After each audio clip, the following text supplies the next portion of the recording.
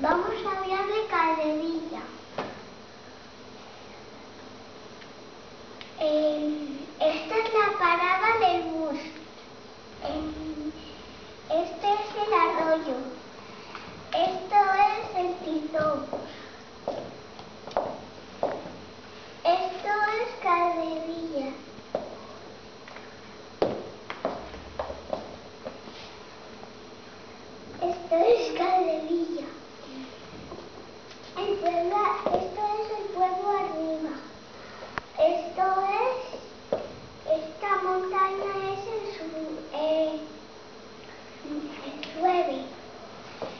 y esto todo es calderilla.